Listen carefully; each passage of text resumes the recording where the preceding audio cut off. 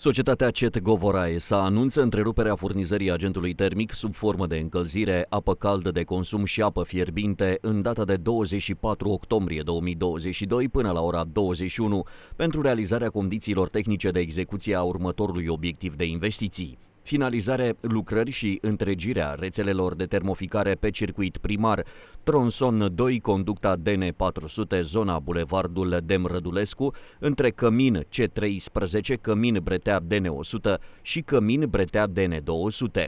Lucrările fac parte din cadrul proiectului Reabilitarea sistemului de termoficare urbană la nivelul municipiului Râmnicu Vâlcea pentru perioada 2009-2028,